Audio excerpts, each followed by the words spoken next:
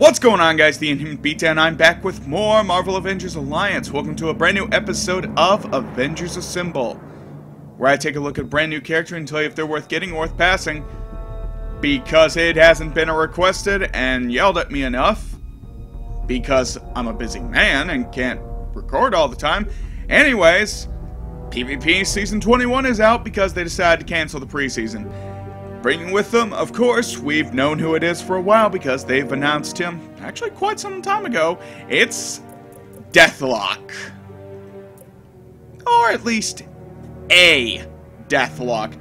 Uh, fun note in trivia, Deathlok is actually not a character, but more of the just name of characters. Uh, more specifically, this is the Marvel Now Deathlok incarnation, who is Henry Hayes. Henry Hayes was a combat medic in the U.S. Army who lost his leg in a suicide bomber attack. The Biotech Corporation gave him a new synthetic leg, but unbeknownst to Henry, they added far more than just a new leg. Biotech had turned Henry into a Deathlok, a cyborg assassin. Using a trigger word to control Henry, they sent him to several ah, special operations, wiping his memory after each mission. With the help of S.H.I.E.L.D. and Henry's sympathetic handler, Deathlok has managed to break free of his mind control and seeks to put an end to biotech. God damn it, Skynet, now they're reaching out to people. Anyway, so he is currently the PvP reward hero. He is a blaster with focuses on attack, defense, and health with low stamina, accuracy, and evasion. Bullet Sponge, taking significantly less damage from gun attacks. Combat Analysis applies combat data to any enemy that attacks, reducing accuracy and evasion, and increasing the chance for critical hits. Cybernetic, he's immune to bleeding, burning shield, and obsolete tech, very high crit resistance. His attacks are, as such, the biotech, uh, is that S1 or SI, or Cyrif, I don't know.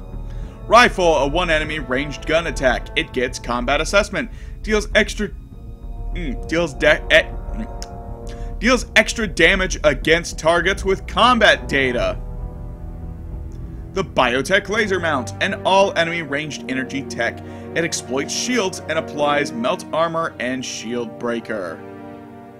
Suppression Grenade is a one-enemy ranged explosion fire that is a quick action. It causes exhausted and neutralized. Finally, the Biotech Launcher is an all-enemy ranged gun explosion with a two-round cooldown. I'm just gonna breeze through. Yeah. Okay, Suppression Grenade also had a one-round cooldown. I just thought I'd mention that. I forgot about that. Anyways, it's with a two-round cooldown. It has Boon Buster deals increased damage against targets with strengthened, fortified, focused, agile, shield, or regain effects, deadly crits, and removes buffs.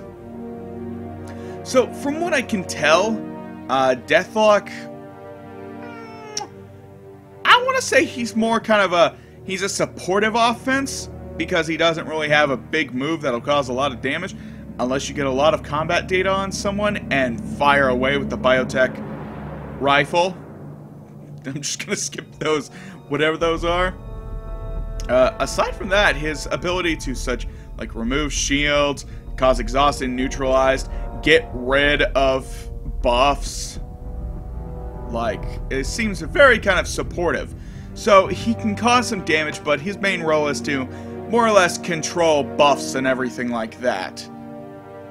Which is decent, I suppose much like this series is known for, this is only a first impression, so uh, I will probably know more about him once I get hands-on with him, but I probably won't see hands-on with him for quite some time. Probably after the next two PvPs, because the next one will get Victor, so... He seems pretty decent so far, though. Uh, his ability to basically wipe out all the buffs of an enemy team does seem rather unique and very good. I mean, Rescue can do it too, but Rescue doesn't have the offensive capabilities he has.